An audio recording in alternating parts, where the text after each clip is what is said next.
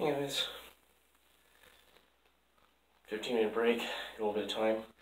We're gonna dagger drill today. Uh, just uh, recording this video. You guys get to laugh with me at how uncoordinated I am. Also, my personal record to see how I'm improving. But uh, yeah, I want you guys to get out there and uh, practice whatever it is that keeps you healthy and happy, even if it is for just a minute. So let's see if I can remember this drill properly. So, parry, grab, stab, cut, stab, cut, stab, downward, and then face stab, and then technical. Alright, let's see if I can remember that again. So, parry, stab, cut, stab, cut, stab, cut, stab, technical.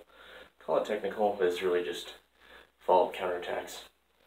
But just kind of a fun little move here. Get your flow on. Boom, stab, cut, stab, bam, stab.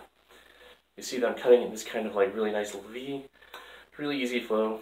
Just check, stab, cut. You know, you can even do it hammer, grip style. You know, the ice pick ways. There's the parry, stab, cut, stab, cut, bam.